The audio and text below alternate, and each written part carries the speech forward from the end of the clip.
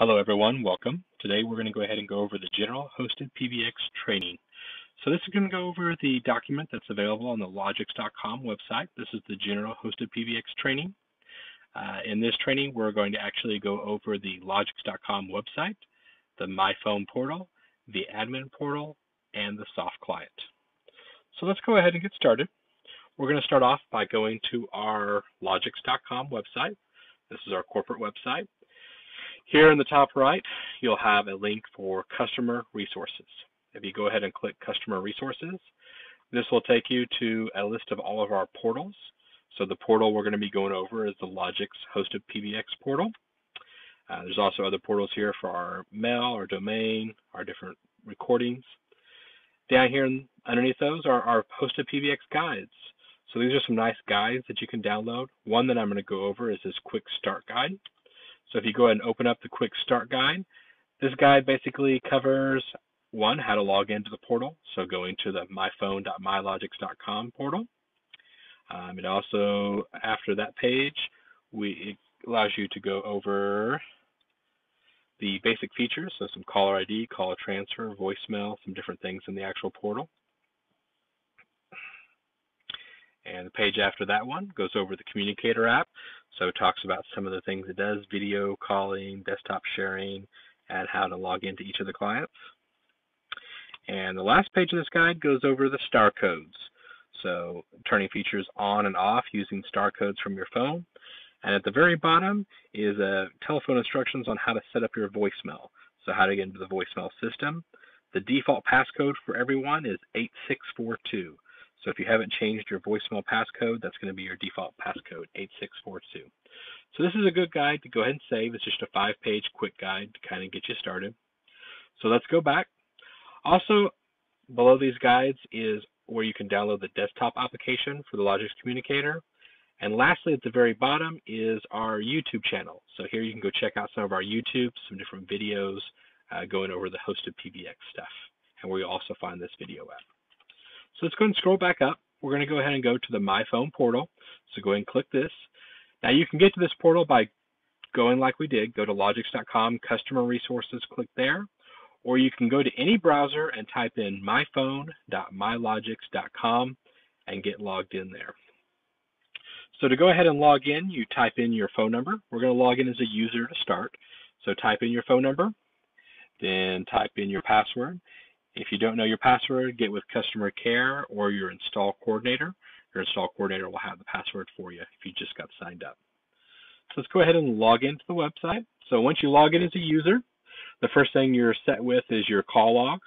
So this will be the, your call logs for the last, you can go to the last 90 days or last 1,000 calls. So we're under account and we're under call logs. The next section is going to be messages. If we click on messages, this is where any of your voicemails will live. So you can see your voicemails, you can play them, save them, forward them. The next is going to be profile. So this is where you can actually update your E911 information. So if you're temporarily going to work from the house or work from another location, you can update that. So when you call 911, they'll get the correct address. And down at the bottom here is where you can change your password. So you can put in a new password, put in an email recovery, Password has to be at least six characters long, one number, one lowercase, and one uppercase. So far we went over account, we went over call logs, messages, and profile. So that covers the account tab. The next tab is going to be settings.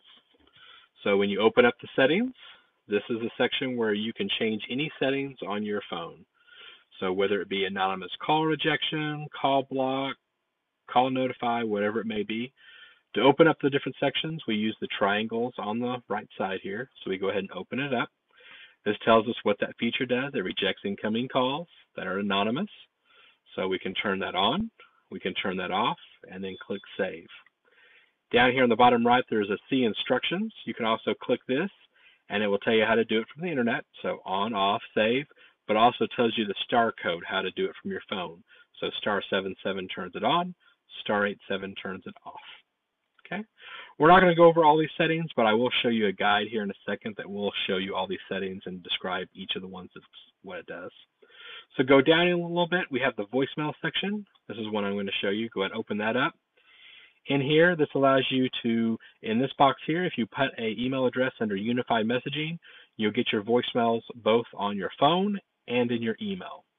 Versus if you do forward to this email address, you will only get your voicemail in your email, so you won't get it on your phone.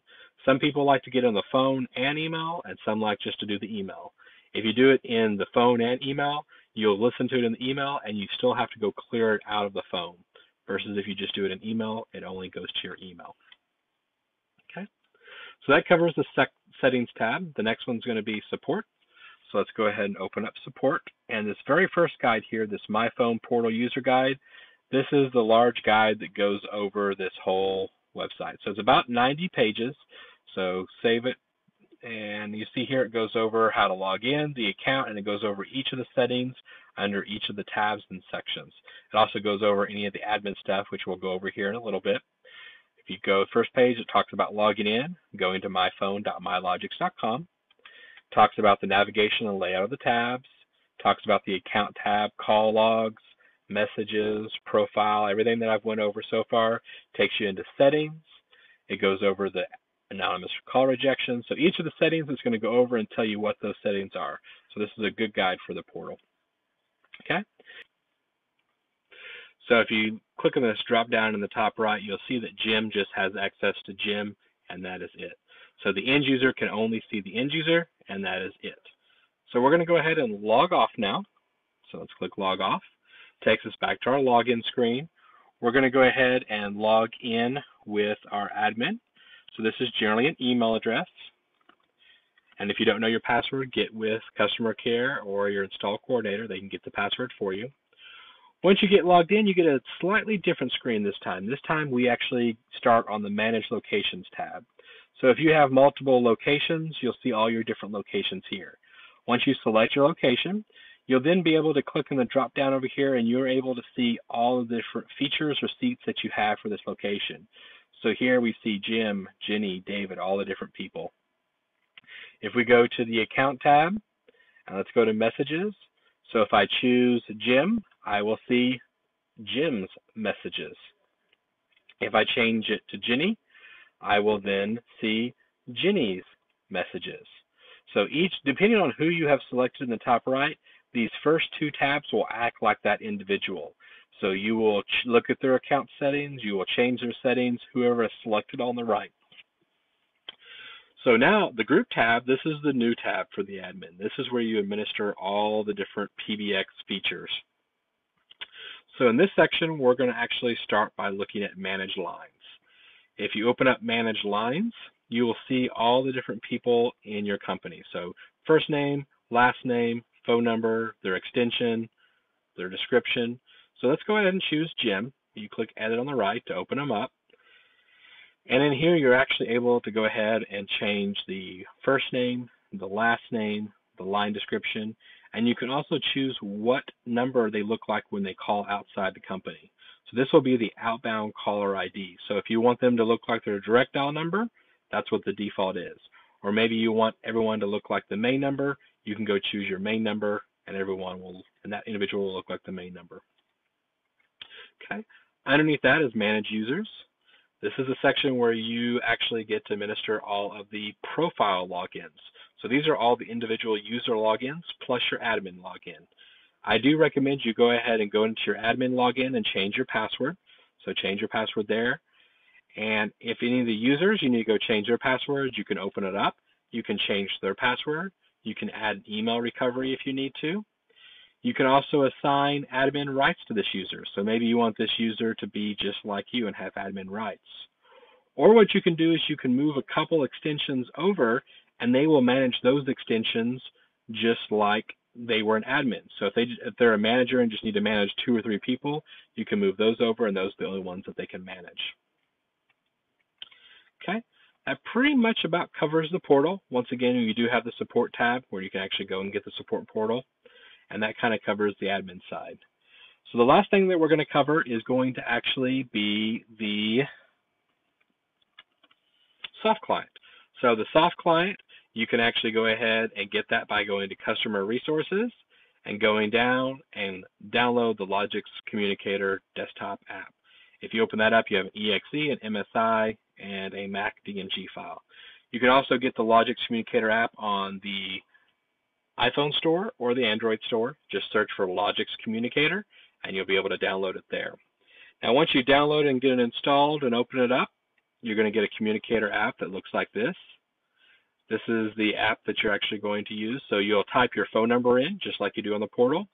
You'll type in your password just like you log into the portal. They all use the same username, password. Once you get logged into your app, it'll go ahead and sign you in. It'll refresh. And when it refreshes, you will come back and you will be on your contact screen. So contacts, here you'll have your contacts. You can see your name at the top. You can see availability. You can set your location. You can put a comment in. So here, this is where you can see and search everybody that is in your contacts. The next tab is going to be our chat history. So if you have any chats with anyone, this will be where the chats are located after you've saved your chats. Call history. This is the call history. So this is any call history that you have will be in there. Also, your voicemails will be in here, so you can actually download and play your voicemails if you need to. Dial pad. So this is where you can dial numbers. You can dial out, and if you have a desk phone, you can dial from your desk phone. You can dial from the app, or you can make it a video call and do video call between two of the apps. Then we also have directory. Directory is everybody in the company, and so these are all the different people that may be in the company. Uh, you can search for people and add them to your contacts if you need to. So this is just a basic communicator, kind of going over the basic stuff. So we're not going to go into too in depth. Um, there definitely is a options down here, and you can look at all the different options and change any options in here from the different things. That concludes our training for the hosted PBX. This is just a generic overview to kind of show you the portal, the user portal, the admin portal, and the soft client. Thank you.